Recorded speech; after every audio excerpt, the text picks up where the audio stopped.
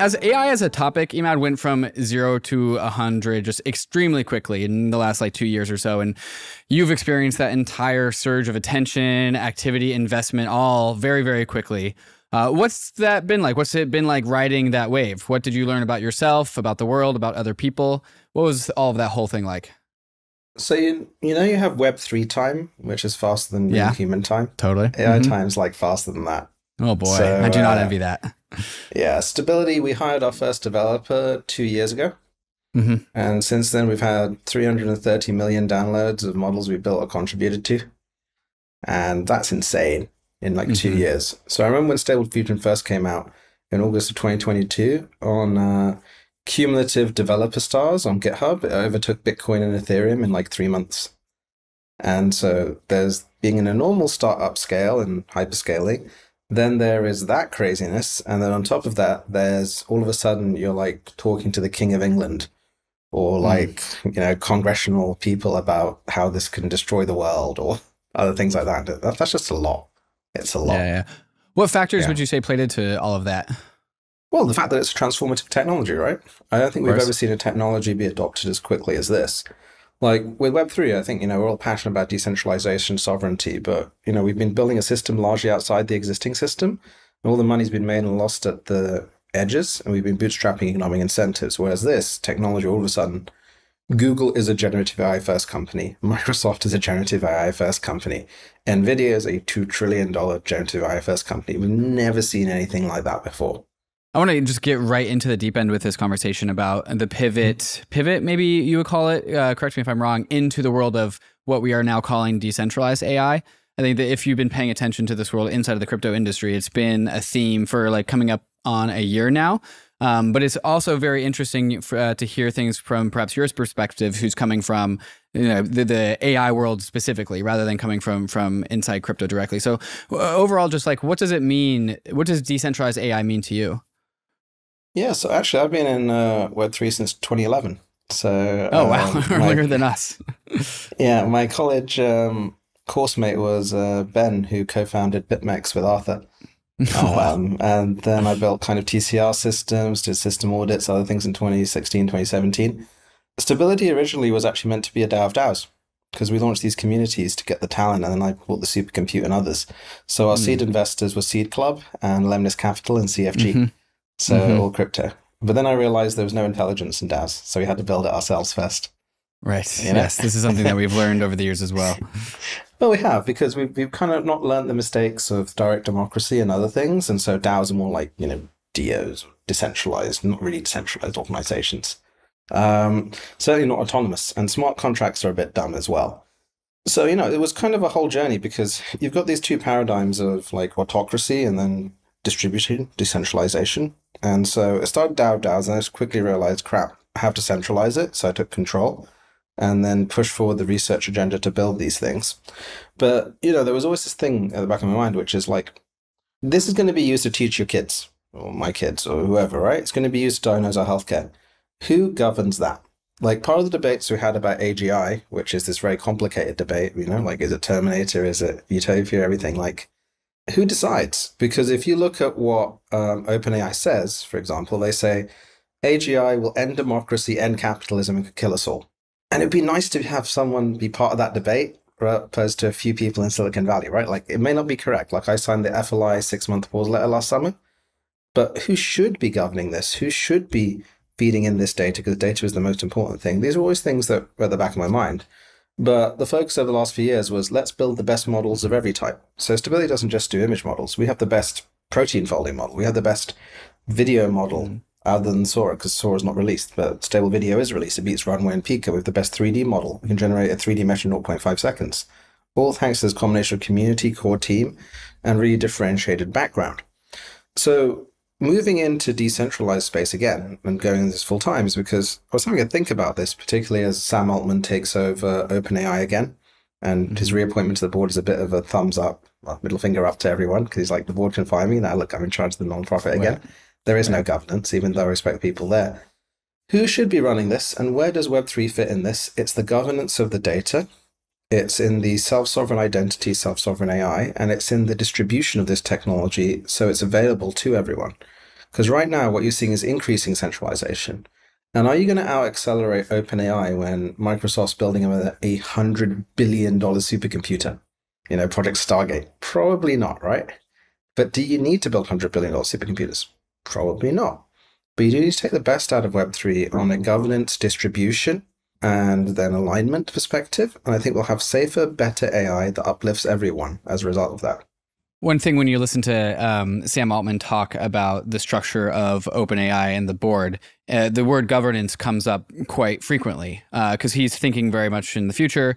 He is thinking in a world in which this super intelligent machine does exist, and all of a sudden, uh, questions over its governance become critically important. Uh, and you know, you know, so props to Sam for having this kind of uh, foresight. Similarly, in the crypto space, we also think about governance uh, quite a lot. Like DAOs, that's the conversation of governance, governance over networks, governance over apps. And so we are also experimenting in governance. And this is one of the doors I will say that Web3 has opened, but definitely not solved. And we've seen the governance failures of the OpenAI board, and you can look into crypto and also see plenty of governance failures. Uh, and so, one thing we can say about crypto is like, at least we are trying, but we don't have necessarily any governance solutions here. Um, are, is, how are you thinking that this proceeds forward when one of the biggest issues in the world of um, artificial intelligence is governance? Well, look, we haven't figured out how to align humans. How are we going to align AI, right? Right. I think yeah. that's one of the things that we're always thinking about. I think what I've seen is that there's a lot of real thought being put towards governance, alignment, and things like that. But there are lots of misnomers. Like big compute is a substitute for really bad data. You know, so mm-hmm. one of the things is data quality, data provenance, data tracking. We're seeing this wave of potential deep fake as superhuman generative AI that requires again a provenance kind of solution there's a distribution of the wealth around this. You see billion, trillion dollar companies kind of emerging from almost nothing. Who should kind of have some of that ownership? There is the question of attribution of data going in. We opted out a billion images from our image model because we thought it was the right thing to do, didn't have to do it legally, etc. So nobody's got a solution because this is a problem for humanity. And it's happening at a time when entire industries are about to be completely revolutionized. I was on a panel with uh, Nat Friedman, the former CEO of GitHub, last Monday at Abundance 360, this conference by Peter Diamandis, and he made this really good analogy because I said, well, I think that these like really talented graduates that can do just about everything and they try a bit too hard, they hallucinate. He's like, yeah, and we just discovered a continent called AI Atlantis, or Atlantis, if you want to call it that way, where there's 100 billion of them. That's economic upheaval. You know, so what I'm really looking at is I believe that every nation should have their own AIs and data sets that they own because no government will run on closed AI. It'll be open and transparent because you have to know what the curriculum is. You have to know you are what you eat. And then in every sector, there's a transformation that occurs from this, but we need to coordinate the response because we don't know how fast it happens. Because one of the things that's happening here is like, oh, just over a year ago when ChatGPT came, every head teacher in the world had to answer the same question. I can't set essays for homework again, or can I? And we're seeing a lot of those things happening right now. And so my basic move here is to move towards building a substrate for collective intelligence as opposed to collected intelligence, amplified human intelligence versus AGI, distributing the benefits and getting together the smartest people, hopefully, that can figure out what the practical governance of these data sets, these models, and other things are, because they impact society. And that's a discussion that has to be had. And it should be the smartest, most passionate people of every nation looking out for their nations. It should be the smartest, most passionate people in healthcare and education and others thinking, how can we fundamentally change this for good? You know, leveraging this technology that is transformative, and I can talk about that.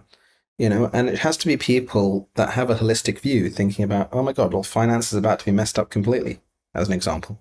And again, I can dig into that. What do we do about it? And actually building not only the uh, creation bit, but the defense bits around this as well like our infrastructure, you saw the XZ kind of thing, is incredibly susceptible to attacks from this. And so mm-hmm. we have to mm-hmm. build a new robust infrastructure incorporating all these elements. And I think, again, the only way to do that is not a small dedicated team in Silicon Valley. It's distributed teams of people working around the world solving this problem, which is the real Manhattan project. But it's not against the Russians or anything like that. It's against our sclerotic infrastructure and very unpleasant race conditions. Also, I don't think that there's very few bad people in this as well. So even though, you know, I crap on OpenAI and things like that, there are a lot of passionate people trying super hard there. It's just, again, They're caught in very bad local maxima because it is so powerful. The natural thing is to control, control, control. Yes, yeah, yeah, and it's uh, also the hardest thing to to give up as well. Your your quote: "You're not going to be centralized AI with more centralized AI." There's uh, a number of different ways I could read into that. Like first, is that like your mission? Is that a, a, a goal that you have personally? Is to beat centralized AI? Yeah, I mean, like I ran a China A shares fund and I was a video game investor, and then it suddenly became the China Social Credit Score, and mm. that's a vision of the future, gamified life, you know. And some people are happy with that, but I see best basically going to 1984 on steroids. If you've got a few people controlling this amazingly powerful technology, and deciding when it's going to happen, you know, who gets it? Like, when does this technology? When does AGI get to Pakistan or Bangladesh? Well, never, because they can't be trusted with it, right? But then this AGI, whatever you may define it as, could be used to educate every child or give universal healthcare. So who gets to make those decisions? So my thing was AI for the people by the people. Like um, I was, in 2020, I was leading one of the United Nations backed AI initiatives against COVID 19. I was lead architect to organize global COVID knowledge and make it accessible through AI. And pretty much every AI company that promised to back me didn't give me the technology because it was mm-hmm. dangerous. I was like, we're saving mm-hmm. lives. And that's the origins of stability and how it moved to this, you know? But like I said, we're not quite mature enough. And this is one of the fascinating things as you look at the L2 roll ups, as you look at the data authenticity things. Web3's grown up a lot. Like there are actually primitives now that are emerging that could be a substrate for collective, decentralized, distributed AI by the people for the people. Whereas on the centralized thing, again, it's a different paradigm, which is the all powerful AGI.